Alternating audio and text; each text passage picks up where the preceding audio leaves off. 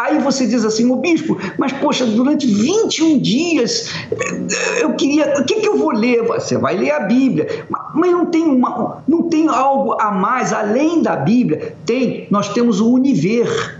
O universo só tem conteúdo cristão. Quando você entra no universo, você só tem lá conteúdo cristão, filmes cristãos, sim, mensagens, orações, você precisa para manter a sua mente em atividade naquilo que é o pensamento de Deus.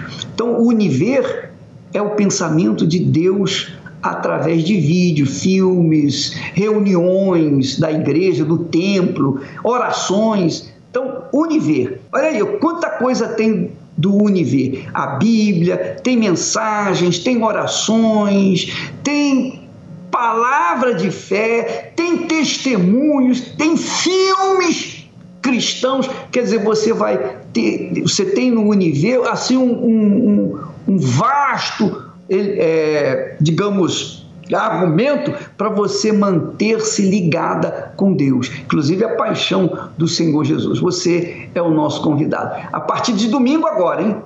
Neste sábado, Neste sábado, a partir da, da meia-noite, nós começamos o jejum de Daniel.